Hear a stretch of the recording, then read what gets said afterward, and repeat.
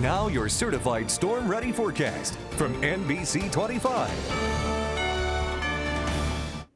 Welcome back everyone, I'm Ahmed Badji. As we get into tonight, we've got cold skies, cold temperatures, clearing skies, all that kind of stuff to deal with tonight. But as we get into tomorrow, we start to finally start that gradual increase in temperature, and we've got sunshine coming back too. Here's a live look from our NBC 25 Skycam over Saginaw right now. You can see that cloud, cloud cover still there. Like I mentioned yesterday, it was going to be kind of a divide between the east and the west of I-75, that corridor there. We've been seeing that today, maybe a little extra off to the west, and that's been keeping us mild. But the thing is, as we get into tonight, we're going to lose all of it. The overall story for tonight, 29 degrees for your low, clear skies, chilly. We have an average low of about 38 degrees, so we are definitely going to be below that all over the place as we go into tonight. Now, here's the deal. Last night we had the north-northeast winds. They were a little breezier. They kept that cloud cover flowing in off the lake to kind of cover everybody from the thumb over towards about Bay County and south.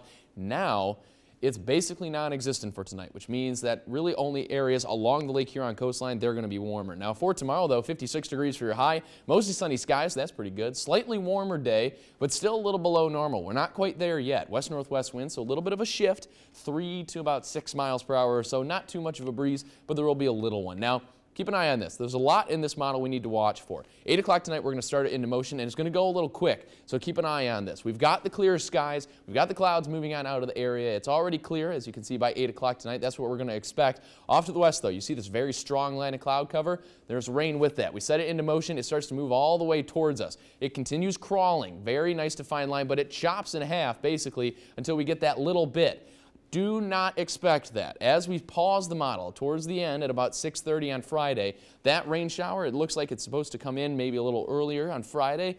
Don't trust it because we've got this high pressure system that's coming through. That system itself, small disturbance coming in. The air should be too dry, which means by the time we get into Friday afternoon, yes, this part we can believe, we can have some extra cloud cover. We're going to watch for partly cloudy skies. Other than that, though, not so much. Tonight, though, we are cooling off across the entire area down to the low 30s, very low 30s. Expect upper 20s in those areas, about Clare County and into Isabella County as well. Everyone in the thumb, though, should be a little warmer. For tomorrow, we heat right on up, and then by tomorrow night, we're finally staying mild overnight down in the 40s. It looks great, and as we head into the beginning of the end of your work week, we're up into the 60s. But the next seven days, you know what? It looks pretty good. We've got sunshine for the rest of the week. Last thing to touch on is the shower activity. Sadie returns right there at the end on Tuesday.